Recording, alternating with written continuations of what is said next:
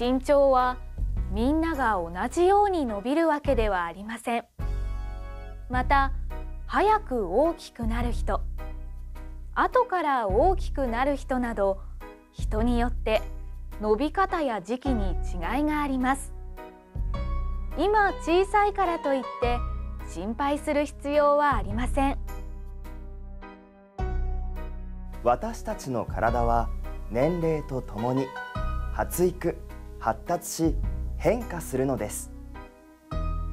体が育つ時期は骨や筋肉も育つから体重が増えるのは自然なことなんだよ。急に身長が伸びたり体重が増えたりする時期やその変わり方は一人一人違います。そのことを個人差と言います。覚えておいてね。皆さんこれなんだかわかりますか？普通の画用紙だよね。この画用紙の真ん中には小さな穴が開けてあります。でも小さすぎてわかりません。実はこれ私たち人間の命の元と同じ大きさなんです。それはお母さんのお腹の中でできる卵子と言います。卵子はこの小さな穴と同じ。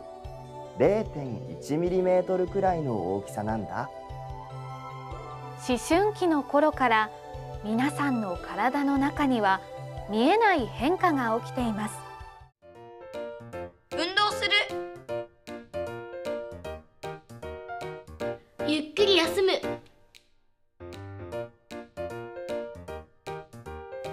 そうよりよく成長する。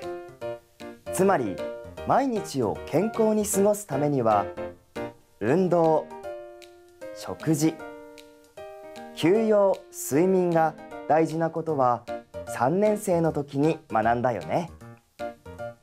皆さんはいつもどんな運動をどれくらいしていますか？じゃあ先生が手をクラスした時に手拍子を1回パチンと叩いてください。たまに先生嘘をつきます。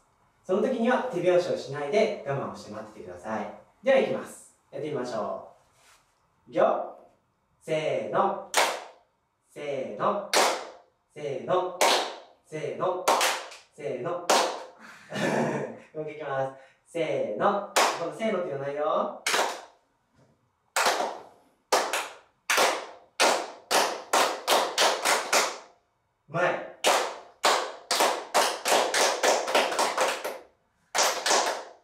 はい OK